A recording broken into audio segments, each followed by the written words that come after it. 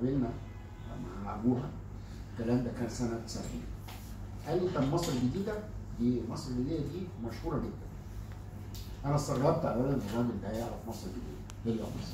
ليه يعرف مصر الجديدة؟ راح طلع لي آه، هو بما إن هو railway engineer يعني مهندس آه، سكك حديد. مصر الجديدة مبنية على السكه الحديد لأن المترو هو سكة حديد لأن أي حاجة بتجري على قضبان تعتبر سكة حديد. وراني على مصر الجديدة مقال على مصر الجديدة إن هي كانت في الأربعينات انتخبت أجمل واكمل ضاحيه في العالم. نتيجة نمرة واحد لتخطيطها ال- بالنسبة للمواصلات المترو مع الترماي كان المترو بيقطع مصر الجديدة بالطول والترماي بيطلع بيقطع مصر الجديدة بالعرض وبعدين يطلع على العباسية. نمرة اتنين للتصميم المعماري بتاعها إن هو اخذ من التصميم العربي والتصميم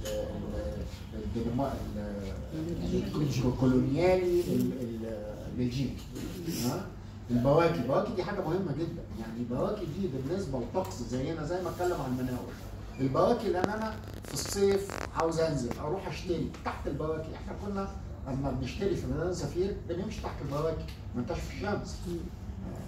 بعد كده كل سنتيمتر عاوز يستفيد منه يعمل لي العماره يعني المهم فهو وجه نظري إلى إن هليوبوليس دي على مستوى العالم شيء في غاية التفرد تصميما وتنفيذا وتفكيرا حاجة شيء بديع.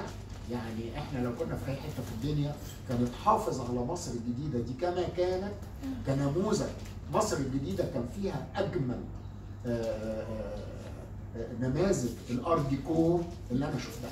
أنا شفت باريس وشفت آه، روما وشفت أجمل نماذج الأرت ديكور في ال- ال- ال- العمارات أو الفيلات أنا شفتها في مصر الجديدة.